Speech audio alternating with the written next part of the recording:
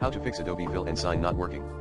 Here are some troubleshooting tips if Adobe Fill and Sign is not working properly. Make sure you are using a compatible Adobe Acrobat DC version that supports Fill and Sign. It requires at least Acrobat 2017. Check that your PDF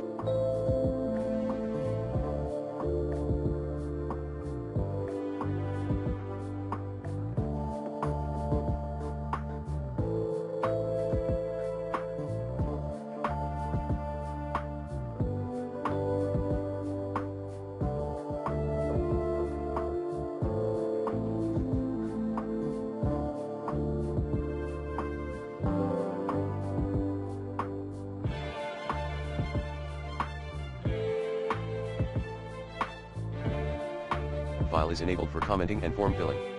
Older PDFs may not support this functionality. Try flattening the PDF file using Acrobat's Prepare Form tool to enable form fields. Enable permissions for commenting and form filling in the PDF file by going to File Property Security. If using a pre-filled form, ensure you have edit access. View only access prevents form fill and sign usage. Make sure form editing privileges are enabled under Tools Protection Restrict Editing. Try resetting fill and sign by deleting cached data in Edit Preferences forms. Update to the latest version of Acrobat DC and reinstall if necessary. Older buggy versions can cause problems. Disable browser extensions that may conflict with Acrobat's built-in tools. Repair the Acrobat installation using the Creative Cloud Desktop Apps Repair option. Try on a different PC to rule out system-specific issues. If the problem persists, contact Adobe Support or try isolating the issue using Adobe's troubleshooting portal for fill and sign.